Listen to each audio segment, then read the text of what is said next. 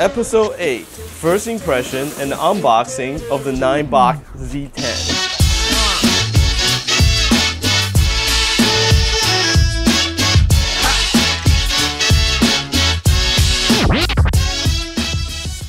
Alright, after a lot of waiting, anticipation, and you know, a little bit of crazy craziness at the end of the uh, shipping process, it is finally here, the Ninebot Z10. And when I say finally, I really meant it. I put down a deposit at eWheels uh, at the end of July, and it's October 11th. So I basically waited 12 weeks for, to get this wheel.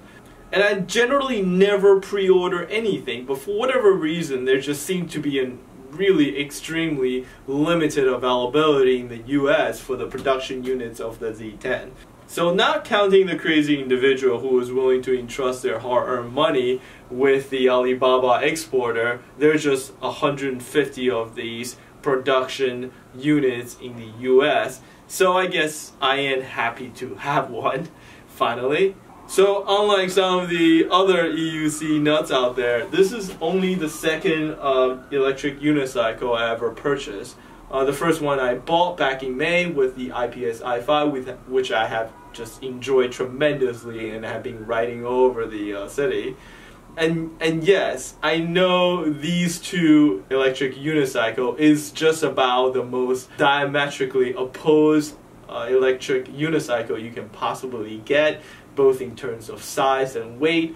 But I do have a good reason for it. that I'm sure I'll get into it in uh, future reviews. So I was really torn between this and the Gotway M Super X, uh, which was faster with some of the owner who have the 100 volt version reporting speed up to and beyond 40 miles per hour. It also have a larger battery and it's based on a previous model which means I had a more much more predictable ride. So why did I choose the Z10 which is actually more expensive despite those you know specification shortcoming. So I will explain as I unbox the Z10, which is why you are here. So it's really um, there. There were a lot of different opinion as to the ride quality of the Z10, but I think there is one thing that everyone all agree on, which is the um, design and quality of the manufacturing on the Z10. I mean, this is from everything I heard.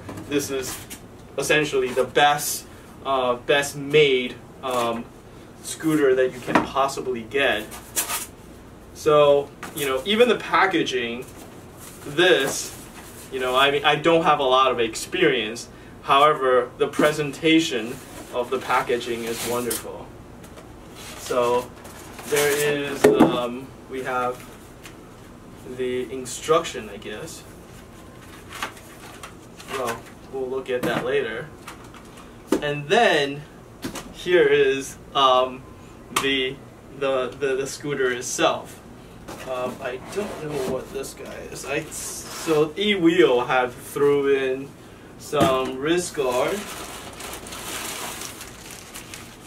And these look like the additional padding that uh, they included with the model.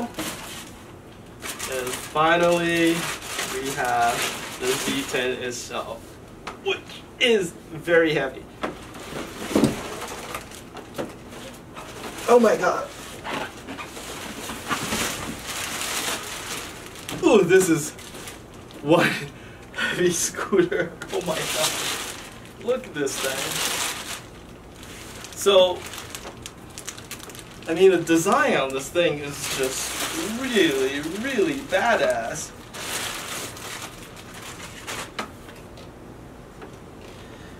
So, I do have to say, the main reason why I chose the Z10 was the way it looks. I mean, this is just a beautifully designed scooter. So, um, the other thing that I have watched, you know, quite a bit of video of people reviewing the Z10 and riding it, and one thing I do notice is that people said that it's a little bit hard to turn it. Um, and from the video, it looks like you really have to lean into the scooter because of the greater weight of the wheel. So as it spin up, there's a lot more gyroscopic forces that you have to work against. but having rode a motorcycle quite a bit, um, that actually sound like it will be fun. So anyway, let's see. Oh my god, this thing is heavy. So it has a wonderful finish, and um, here's the charger. Well, Jason had noted that the plug which included in this kit was not the correct one. But he also mentioned that there was going to be a hard um, extender because this guy apparently doesn't work very well. Uh, what else is in here? Let's see what's in this box.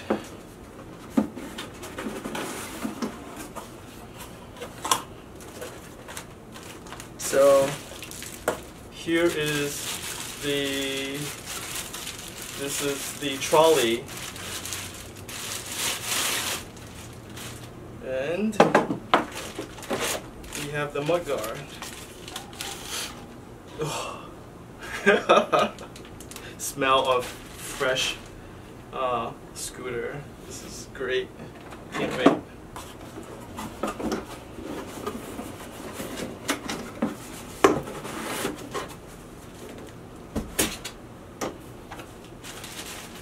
Alright, I'm gonna take some time and assemble this guy and uh, we'll give it a quick first ride.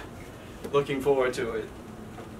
And while I, I'm at it, here's a quick comparison of the Z10 versus my IPS i5. It is probably like three times the width. Um, it's not that much higher. Uh, the wheel is actually, you know, obviously significantly larger. Um, and the weight of this thing is just tremendous. This is a very heavy scooter. Okay, so we have the uh, the fender, and uh, which have a nice um, reflector strip, and then we have the um, the trolley kit. Um, I think I'm gonna leave. I, I really like this kind of you know Batman Tumbler look. So I'm gonna leave the wheel exposed. I'll I'll leave. I don't think I'm to be riding, you know, in the wet anytime soon. Just yet now until I get used to this unicycle. So I'm to start with the trolley kit. This would certainly make it easy. Um, there's no lock on this. Conveniently, they included an Allen key. So from what I have seen, it's just a matter of um, having to take these bolts off. Okay, I got the trolley handle on it. Um, there's actually some extra screw left over. It's a little bit funny because the screw end um, is hanging out on the interior. I can see that sticking out. Uh, but, you know, they're not close to the wheel, so I guess that's okay. The next thing is um, these additional pads uh, that they give you uh, which I will also apply. There's two um, that goes on what looks like either edges on the underside, and then there are two that goes on the upper portion. So one right here, and then the other one goes on the other side.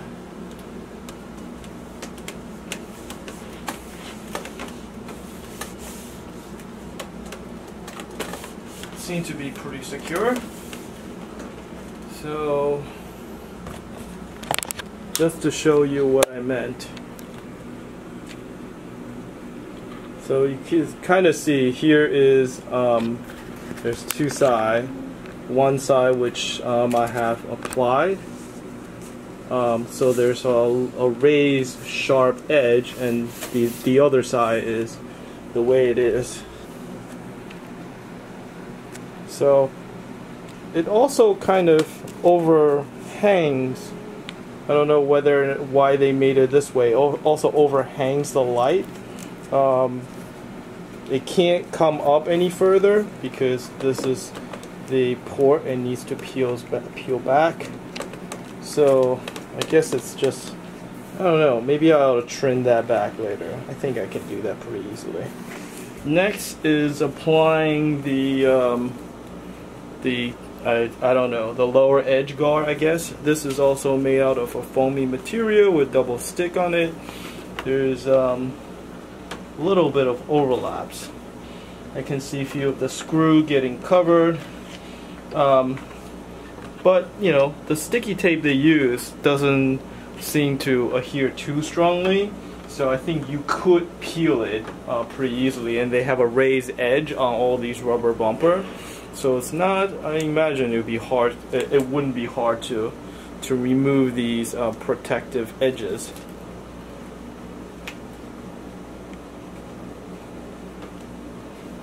So this is a pretty good fit.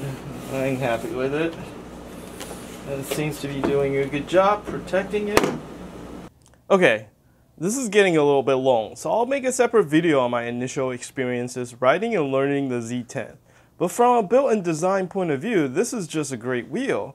The whole assembly felt solid with no flex at any point and the seam between the panels are either hidden through clever design or hairline tight. Even the surface inside the wheel well is finished and clean, with the only exception being the exposed screw head attaching the trolley assembly, but that's really nitpicking. And you can tell that they had an actual industrial designer who really scrutinized every detail of the Z10. Even the soft padding is shaped to the wheel with obvious thought behind functional and aesthetic requirements. And although I would likely never understand the engineering side of how the Z10 was designed, this level of care and attention really inspired confidence in this wheel.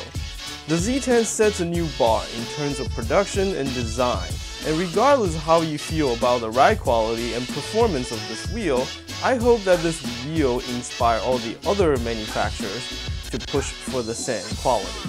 Since in the end, it would be us, the enthusiasts, that benefit. Thank you for watching. I hope this was interesting. Please subscribe and like the video if you enjoyed it. Thank you.